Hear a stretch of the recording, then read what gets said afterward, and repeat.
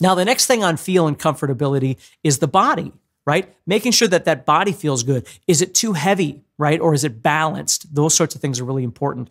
Uh, are you playing sitting down or, are you playing standing up? That sort of thing. And will it will it provide the needs that you uh, are looking for? You know, I'm not really a Les Paul player. Not that I don't love Les Pauls. I love them. But if they're really heavy, uh, a guitar just doesn't really do me very uh, much good if it's a really heavy guitar. Now, sitting down might be okay, but again, for me, because I've always been more of a Strat style player, when I play a Les Paul, it tends to sit a little bit too far back for me.